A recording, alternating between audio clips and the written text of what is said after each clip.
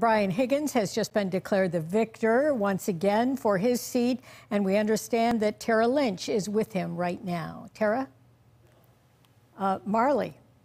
Jackie, I'm standing here with Congressman Brian Higgins, who was just declared the victor for the congressional 26th district race against Steven Sams.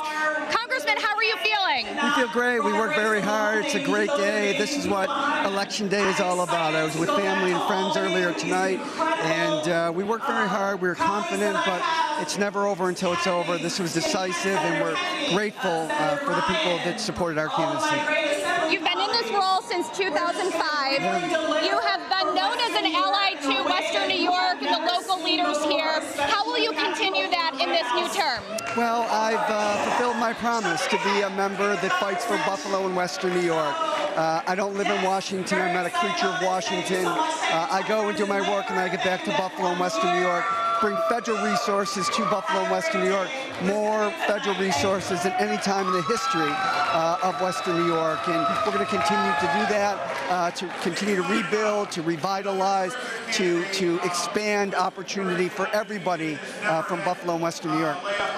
This seems to be a, you know, a, a, very lively event right now. We're hearing multiple people being declared victors. Uh, what are your hopes in the governor's race for your friend Kathy Hochul?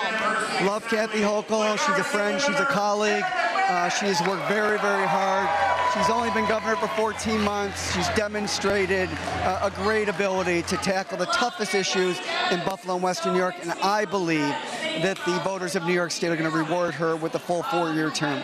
Congressman, thank you so much for joining thank us. Thank you for having me. I'm going to send it back to you guys in the studio.